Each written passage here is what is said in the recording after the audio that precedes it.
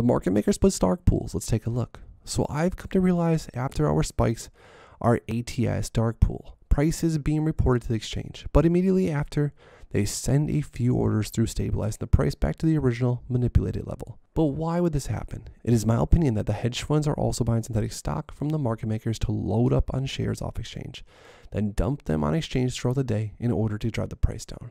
This is mm-hmm. because of how scarce lendable shares are becoming and because naked shorting is getting more and more attention from the retail and media.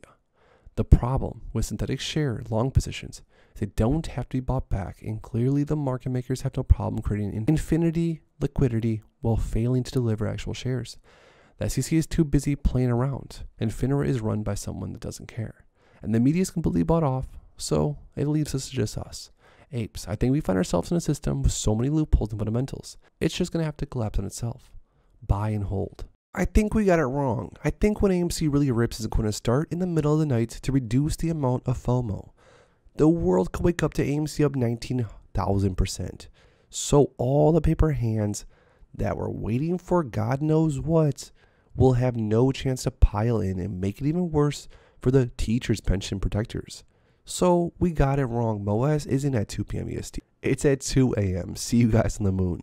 Fundamentals matter and AMC has them, not financial advice. AMC is fundamentally worth 40 to 60 per share because CEO Adam Aron realized that AMC is not in the theater business, they're in the entertainment business.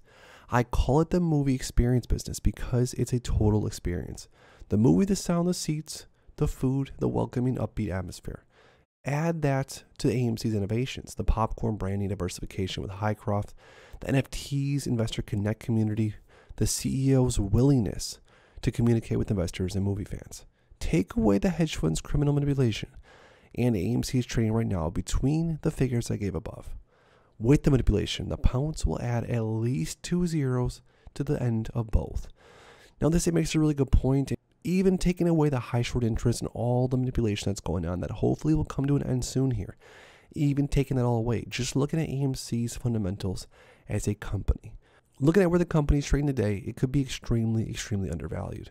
Now, in my opinion, that's what definitely helps me stay in the play. I'm currently down on my shares of AMC, but I'm perfectly fine with holding onto my shares for obvious multiple reasons, but mostly because the company is actually doing very, very well and it's poised to do very, very well in the future. So if I'm down 20%, 30% of my shares right now, holding onto a company, holding onto a stock like AMC long term should definitely be a good investment down the road. But let me know what you guys think about this. What do you think, fundamentally speaking, AMC is worth as a stock, as a company? But if you want to stay up to date with everything else that's going on with AMC, because trust me, guys, there's a lot more to go through, make sure to please subscribe to my channel with notifications turned on so you never miss out on an up and coming video. Also, if you guys haven't already, make sure to please drop a like in the video. It really helps the channel grow. And lastly, make sure to go down below to my description to see all the links down there. And with that being said, I'll see you guys in the next one.